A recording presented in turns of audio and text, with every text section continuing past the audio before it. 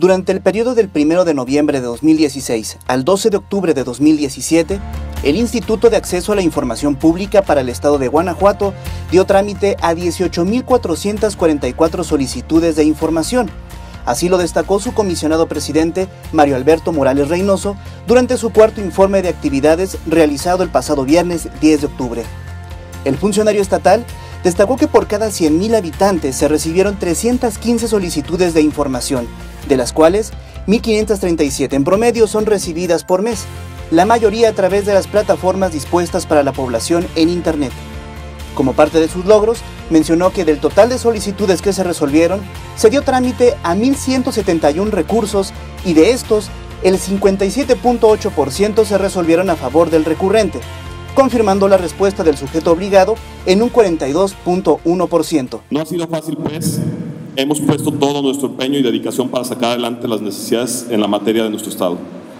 Este año logramos posicionarnos en el segundo lugar en la métrica de gobierno abierto, estudio que fue realizado por el Centro de Investigación y Docencia Económicas, el CIDE, quedando solo por debajo de la Ciudad de México, quien, basta decir, nos rebasa ampliamente el presupuesto. Superamos en un 200% las capacitaciones que teníamos como meta para este año. Dimos continuidad al programa Descubriendo la Transparencia. Con él nos acercamos a los jóvenes y niños de la sociedad. Como sujeto obligado dimos respuesta al 100% de las solicitudes que nos fueron formuladas y en ocasiones orientamos a la ciudadanía para direccionar adecuadamente su petición a las autoridades competentes.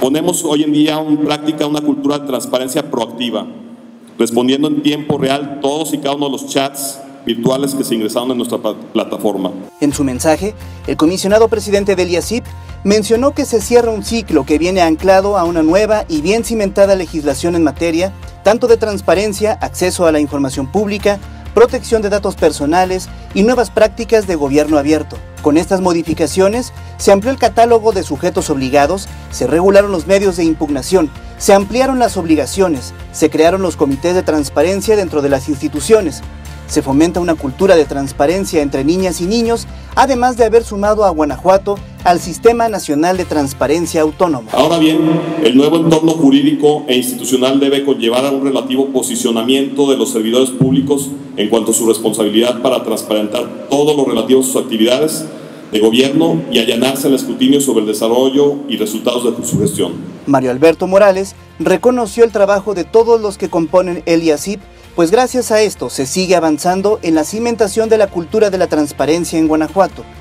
De su parte, dijo, seguirá aportando la experiencia y aportación cognitiva en materia de acceso a la información pública.